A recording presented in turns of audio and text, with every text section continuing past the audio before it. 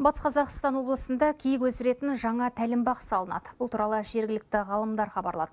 Нысанның аумағы 50 гектар. Ол жерде 200 бас ақбөкен лағын асыруға мүмкіндік жасалмақ. Киіктерді күтіп баптауға мамандардың тәжірибесі жеткілікті. Осыдан 8 жыл бұрын ғалымдар алғаш рет ақбөкен төлдерін қолға үйретіп бастаған еді. Оларда жасанды тамақтандыру әдістері сыналып, физиологиялық ерекшеліктері мен ауру түрлері зерттелді.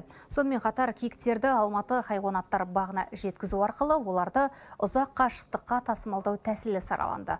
Барлық жиналған тәжірибе нәтижесі қазіргі Ұлытау облысының Жаңарқа ауданында Ақбөкен тәлімбақ фермасын құруға негіз болды. Енді ғалымдар өзге өңірлер мен шетелдердің тәлімбағын, хайуанаттар бағы мен қорықтарын қамтамасыз ету үшін Ақбөкендер қорын құруда жоспарлап отыр.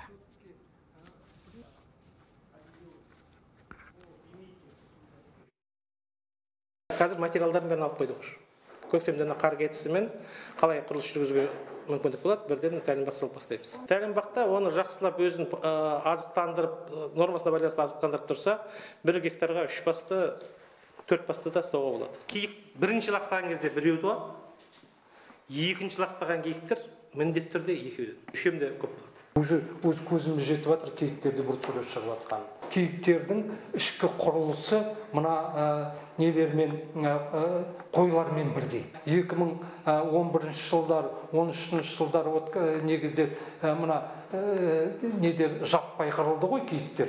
Иә сонда пастереллез деп қойды ғой. Біз ол аурумен келіскен жоқпыз.